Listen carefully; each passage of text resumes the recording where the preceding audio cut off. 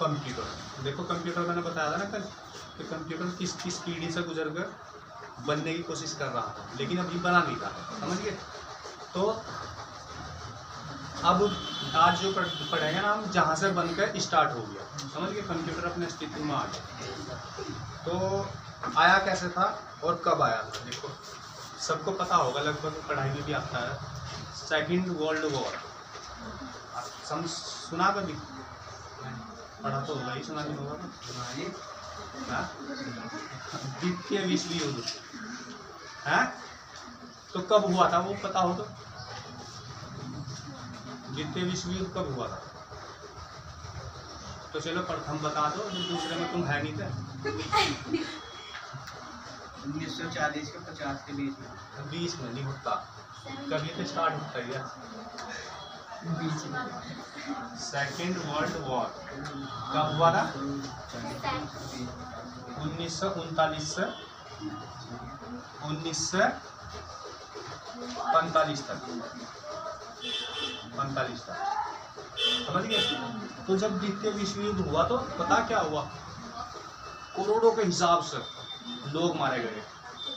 बीस बीस, बाईस देश में जंग हुई। बड़े देशों में उस टाइम पर बड़े ही देश होते थे छोटे छोटे नहीं होते थे। समझ गए? कम से कम सात आठ देश मिला के तो हमारा देश था। जिसमें से नेपाल, भूटान, ये वगैरह वगैरह, जितने भी हैं आसपास के, सारे इंडिया में, पाकिस्तान में, मालदीव, श्रीलंका। समझ गए? तो जब आपस में युद्ध हुआ तो बहुत ज़्यादा बहुत ज़्यादा जनसंख्या लोगों की मारी गई थी। समझ गए? तो जब उसका सर्वे किया गया मतलब संयुक्त राष्ट्र संघ बन गया अमेरिका के अंदर, अमेरिका भी उस टाइम पर गुलाम था। तो लेकिन जैसे ही सेकेंड वर्ल्ड वॉर खत्म हुआ तो अमेरिका ने क्या किया? सब स्वतंत्र हो गए। तो उसमें घोषणा कर दी गई थी कि ब्रिटेन ब्रिटेन का पूरी दुनिया में राज था, ब्रिटेन का। इंग्लैंड का यानी लंदन का यानी ठीक है? तो जब संयुक्त राष्ट्र संघ यूनाइटेड स्टेट ऑफ़ अमेरिका बना तो इन्होंने अपने उसमें एक कमेटी बनाई सभी देश को बुलाया गया उसमें उस, कहा गया कि भाई आप आज के बाद ऐसा काम नहीं करेंगे। देखो बहुत बीस करोड़ से भी ज़्यादा लोग मारे गए उसमें सभी देशों के। और नुकसान तो बस ये हुआ कि आज तक भी नहीं बता पाया कि इतना नुकसान हुआ। भाई, खाली लोगों के मरने से नहीं बॉम्ब गिरेंगे, कहीं कहीं लोग मरेंगे, फटेगा कुछ भी। हमें तो नुकसान भी तो होता है ना। तो ये पता नहीं लग पाया था कि कितने लोग उसमें मारे गए। तो जिन लोगों को उस संस्था ने ज़िम्मेदारी दी कि भाई, तुम लोग सर्वे करो कि कितना नुकसान हुआ लगभग पूरी दुनिया में। तो वे दो लोग थे, दो क्या जनरल थे मतलब में अध्यक्ष थे सेना के, जिन लोगों ने सर्वे किया। ठीक है? एक का नाम तो था।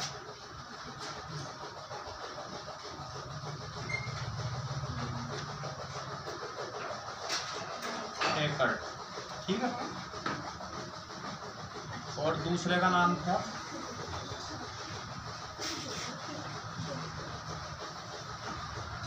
मूसली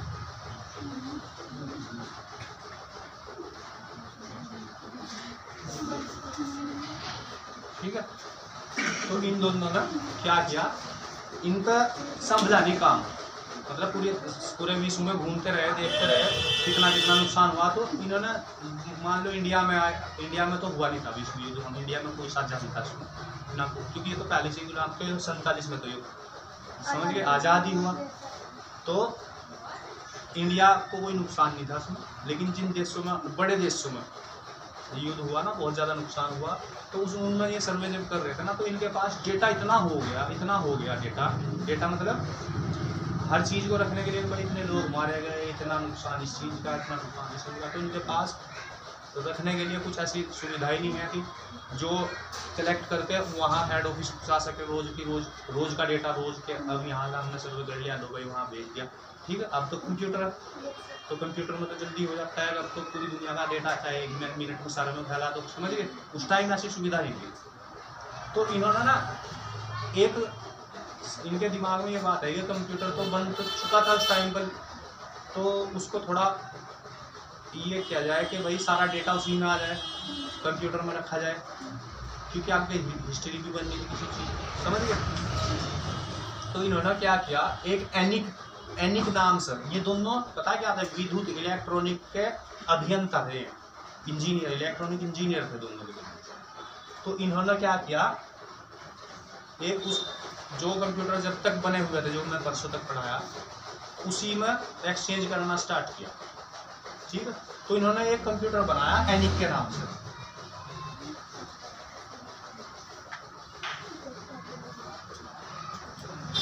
एनिक ठीक है जिसका मतलब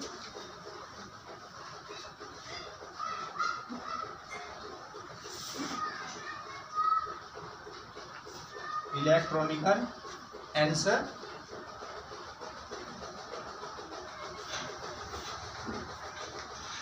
numerical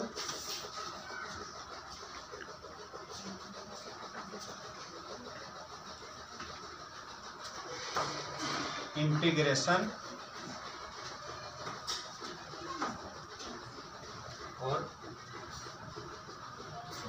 जैसा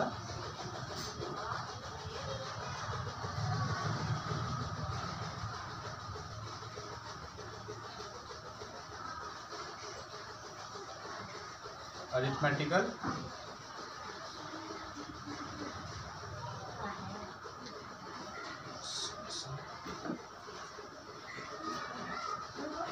कैलकुलेशन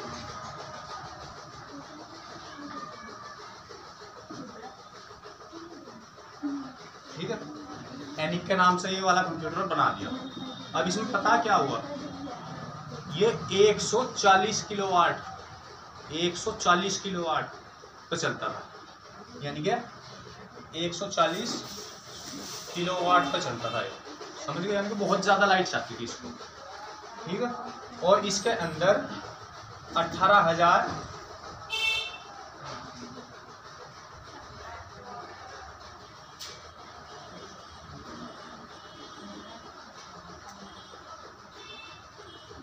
वैक्यूम ट्यूब इसके अंदर अट्ठारह हज़ार वैक्यूम ट्यूब लगी थी। उस टाइम वैक्यूम ट्यूब ही थी उस टाइम उससे अलावा कुछ नहीं था।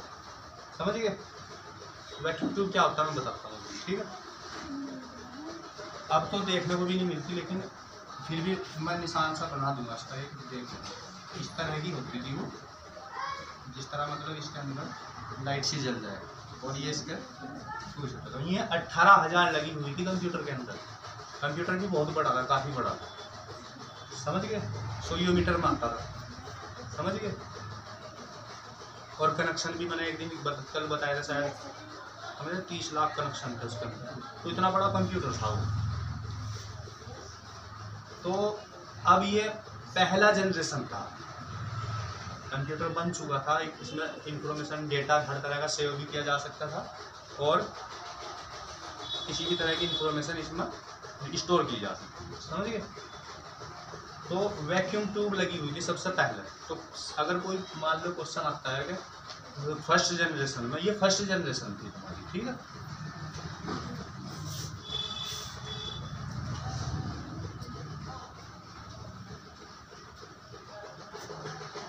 फ़र्स्ट जनरेशन ठीक है? तो फ़र्स्ट जनरेशन में वैक्यूम ट्यूब कंप्यूटर के अंदर यूज़ हुई की गई। अब आगे सुनो। उतार इसको।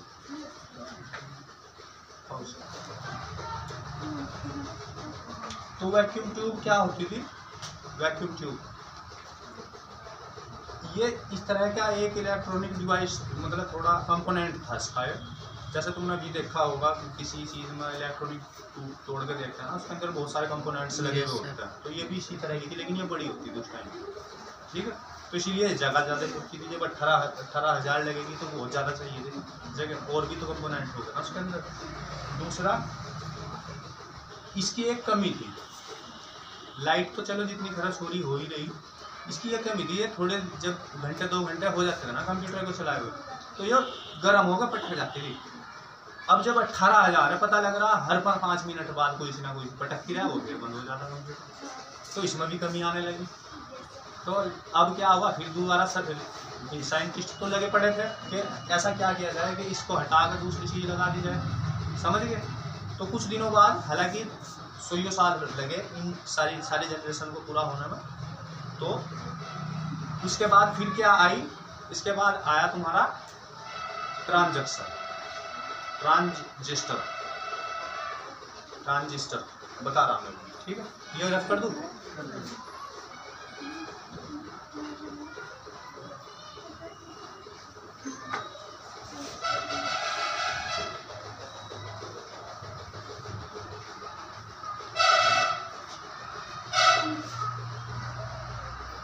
सेकंड जनरेशन ठीक है?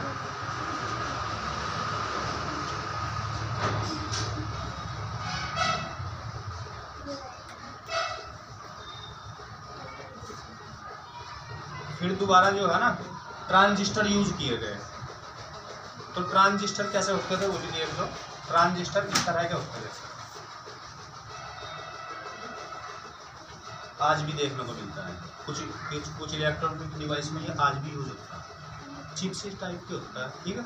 देखे ना ये ट्रांजिस्टर होता है। अच्छा ये तो ट्रांजिस्टर होता है गोल वाले भी होते हैं ऐसे गोल वाले भी होते हैं इस तरह के। उस तरह के लगे होते हैं सेल से सेल। यस सर वो भी ट्रांजिस्टर ही होता है। समझ गए तो फिर इनको लगाया गया। तो ये क्या है? ये वैक्यूम ट्यूब के अकॉर्डिंग ये कुछ कम गर्म होते थे। मतलब वो तो जल्दी गर्म होकर पटक जाता था। अब इसमें तो पटकने वाली कोई चीज़ है ही नहीं। लेकिन खराब तो ये भी होती थी ना। तो कुछ दिनों बाद ये भी मतलब मान लो वो एक घंटे में गर्म होकर खराब होता था या चार घंटे में खराब होता था, होता ये भी था। समझ गए? तो फिर ये चेंज हो गया। सेकंड जनरेशन में इसको भी बदल दिया गया। थर्ड जनरेशन जब आई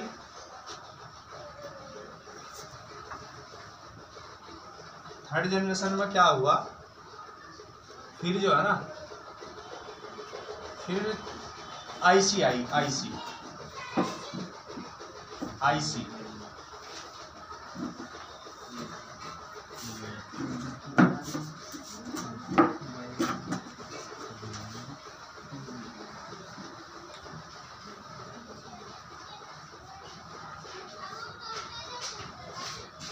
IC का मतलब इंटीग्रेटेड सर्किट होता है, समझ गए? तो इंटीग्रेटेड सर्किट आ गया। वो नहीं आई वो। एक तो ऐसी छोटी थी। तो जब मान लो मैं सिलेंडर से सिलेंडर लगे हुए थे, अठारह हज़ार, उन उनसे तो जान बस गई ऐसी तो छोटी छोटी थी। तो कंप्यूटर भी घटता गया। कंप्यूटर का अस्तित्व भी घटता गया। समझ गए? तो आईसी आने से आईसी तो तुम्हें पता ही होगा कैसी होती है आईसी इस तरह की। ठीक है? इस तरह की। ये आईसी होती है, जो दोनों तरफ़ हुई, जुड़ी हुई होती है सर्किट ठीक है? अब चौथे नंबर पे क्या हुआ? इसकी भी ज़्यादा डिमांड मतलब यहाँ तक कंप्यूटर कुछ हद तक चलता था बढ़िया चलता था ठीक है? लेकिन साइंटिस्ट तो लगे पड़े फिर भी वो चाह रहे थे कि उसका वजूद और भी घटा दिया जाए। यानी कि उसका जो साइज़ है ना, उसको और छोटा किया जाए। तो ऐसा क्या किया जाए इसमें? और स्पीड बढ़ाए इंक्रीज करी जाए स्पीड इतनी ज़्यादा नहीं होती थी समझ गए? तो चौथी जनरेशन में क्या हुआ? फिर आया हमारा प्रोसेसर चिप आई सॉरी चिप चौथी जनरेशन में आई चिप चिप ठीक है तो चिप तो सबने देखी होगी कैसी होती है लेकिन वो वाली नहीं होती चिप जो उनसे तुमने सोची समझ गए चिप चिप जो थी ना इस तरह की होती थी समझ रहे और इस ये सिर्फ़ ऐसी होती थी कंप्यूटर पर तुमने किसी भी कंप्यूटर पर देखा होगा ज़्यादातर ज़्यादातर। उस पर लिखा होता है इंटेल लैपटॉप पे होता है ज़्यादातर। यहाँ लिखा होता है इंटेल तो जो चिप बनाई थी ना तो सबसे पहले इंटेल ने बनाई थी। लगभग उन्नीस में। ठीक है? और इस चिप को लगाने से जितने अब तक कंप्यूटर आए थे इन सबसे दस गुना ज़्यादा स्पीड समझ गए? चिप फूकती नहीं थी। आज तक भी नहीं फूकती क्या क्या कंप्यूटर समझ गए? ये फूकती नहीं थी। लेकिन अब क्या हुआ कर साइंटिस्ट तो अब भी ज़िंदा है ना? तो लगे रहे हैं, फिर और ज़्यादा और ज़्यादा अच्छे से अच्छा करने की कोशिश कर रहे थे समझ रहे तो फिर फिफ्थ जनरेशन आ जाती है। फिफ्थ जनरेशन है उन्नीस से लेकर अब तक। समझ गए? उन्नीस सौ पिचानवे से लेकर अब तक। तो इसके बाद क्या हुआ?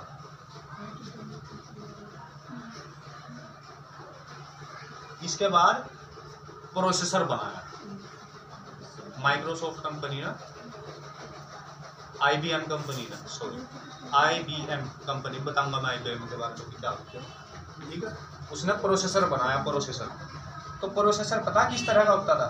होता था तो शीट की तरह ही लेकिन इसमें इस तरह से बहुत सारे लाखों करोड़ों के हिसाब से पिन होती है बारीक बारीक और ये कंप्यूटर का दिमाग कहलाता है जो आज के टाइम बताया तो था सीपीयू नहीं बनता है प्रोसेसर तो यही प्रोसेसर होता है। सब चीज़ में होता है। तो जब ये प्रोसेसर बना ना तो, तो आज तक ये इतना कामयाब है, ना तो ये फूकने का डर, ना इतना होता है, इसकी कैपेसिटी बढ़ा देता है, बस इंजीनियर जो साइंटिस्ट लोग हैं रिसर्च कर रहे हैं, वो इसकी कैपेसिटी तो बढ़ा देते हैं। लेकिन इसके अलावा कोई चीज़ और है नहीं। अब ये इतने से इतने से में बदल गया। अब देखो, अठारह हज़ार वैक्यूम ट्यूब इतनी बड़ी बड़ी कितनी दूर में लगती गई। समझ गए? और अब उन्हें सारी समेट कर ये इतना सा बना दिया तो अब इसे और घटा के कहाँ ले जाओगे? समझ रहे? ज़रूरत ही नहीं है, अब ये कहीं भी लग जाता है मोबाइल में। है बस ये लग, एक ही लगता है समझ गए? तो इसके बाद फिर बस ये आ गया इसने क्या किया? अब तक के जितने भी लैपटॉप है पीसी समझ रहे?